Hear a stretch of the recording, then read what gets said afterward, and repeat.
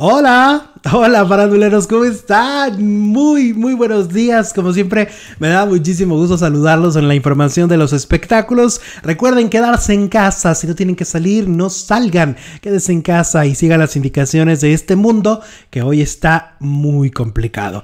Vamos con la información de los espectáculos porque pues ya viene la voz azteca, ¿no? Se anunció que es el 30 de marzo el estreno de la nueva versión donde vamos a ver a Cristiano Dal, a Ricardo Montaner, a Belinda y a la Josa.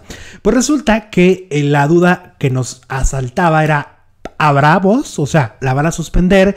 ¿Van a tener público en el, en el programa? Porque programas como Enamorándonos ya no tienen público, ¿eh?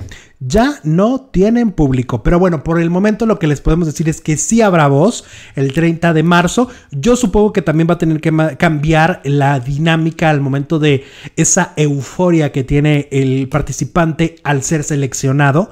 Porque pues yo creo que no lo van a poder abrazar ni besar como en otros programas. Y las cosas tienen que ser diferentes. Tiene que haber una reacción distinta. En este momento las cosas tienen que ser distintas. La voz azteca a las 7 de la noche el próximo 30 de marzo.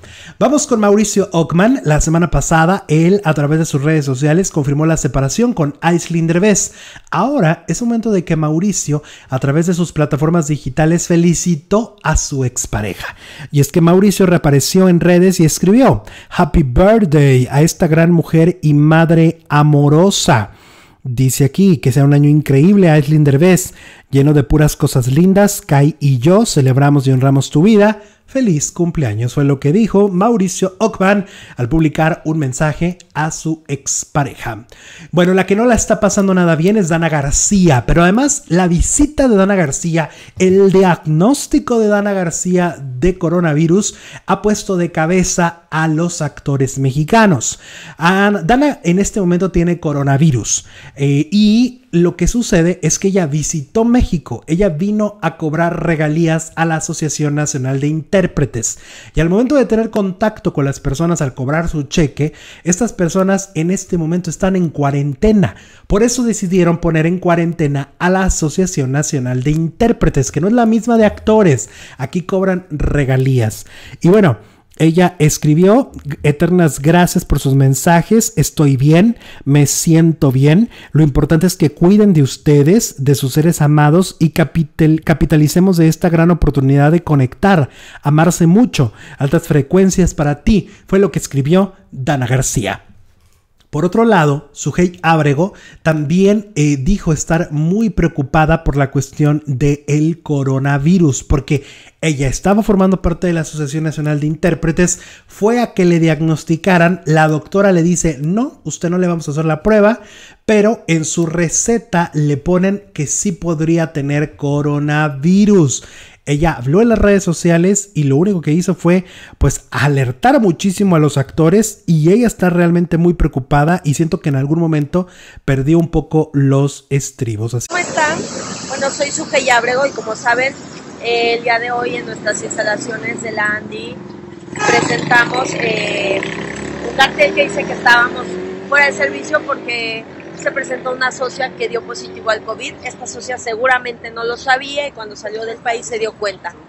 Obviamente por prevención vine al INER porque desde hace 15 días presenté un cuadro de asma que no se me había presentado, tomé antibióticos y sí, aquí estoy afuera de las instalaciones del INER. Quiero decirles que llegué a la una de la tarde. Eh, solamente que presentes o que menciones que tuviste contacto con alguien, te reciben, si no te dicen vete con tu doctor particular para que tú pagues. Son las cuatro y media de la tarde, bueno, he estado esperando casi cinco horas. Me recibe, solo hay dos doctoras que entiendo que estén cansadas y hartas. Le di los síntomas y solo me dio esta hoja que dice sospechosa de COVID.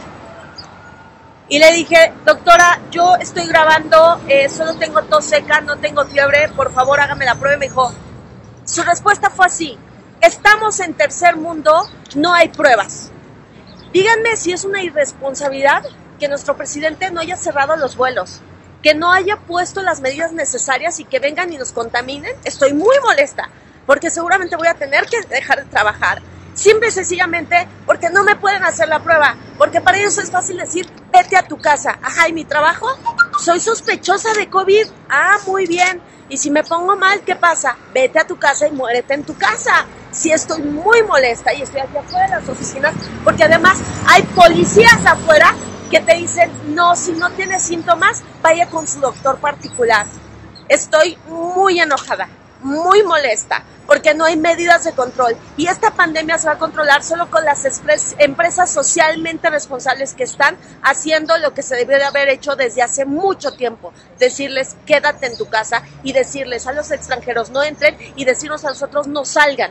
Así de sencillo. Pero que te den una hoja sin hacerte la prueba diciendo, ¿eres sospechosa de COVID? Nada más porque, ay, te duele la garganta, es una irresponsabilidad total. Y se los comparto porque estoy muy, muy molesta. Y claro que voy a acatar las órdenes porque me preocupa. Y hoy no fui a grabar porque me preocupa muchísimo, muchísimo contaminar a mis compañeras que tienen hijos, a mis compañeros actores que tienen más de 60 años. Pero que yo, que pago mis impuestos, no tenga derecho a una prueba, es absurdo, es totalmente absurdo.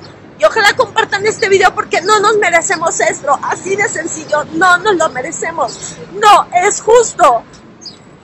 No quiero pensar de verdad la gente que está grave, cómo se va a morir allá adentro, porque solamente si estás grave te dicen te reciben, miren el papelito, papelito, váyase a un centro de salud. Entonces, ¿qué? Claro, tienes que decir, necesito pagar un médico particular y vas a tener que ir a un hospital para pagar 40 mil pesos para que te hagan una prueba en la que todos tenemos derecho. Así de sencillo. Sí, sí, quédate en tu casa. Porque aquí, si tú sales, eres expuesto a cualquier estupidez. Y lo peor del caso, tu salud está comprometida. Sí, no, no tengo COVID porque me siento bien, pero nada más por este papel me voy a quedar en cuarentena. Así porque no me quiero ser responsable de que haya contagiado a alguien. ¿Pero por qué? Porque aquí no decidieron que no me pueden hacer la prueba porque no alcanza, porque la respuesta fue, estamos en tercer mundo. Es indignante. Qué complicado tema de su Ábrego y esperamos de verdad que esté súper, súper bien. Ahora, en Televisa también hay alerta porque dos personas muy importantes, ejecutivos, productores de la empresa, dieron positivo al coronavirus. A través de las eh, plataformas de Televisa, ellos han mandado un comunicado de prensa que estamos viendo justo en la pantalla, en donde confirman que dos de sus personas más importantes de su equipo de trabajo, pues tienen en este momento coronavirus.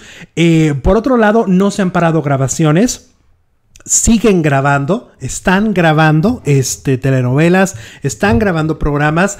Eh, yo escuché una entrevista con la productora Lucero Suárez decir, pues estamos tomando las medidas de no abrazarnos y lavarnos las manos.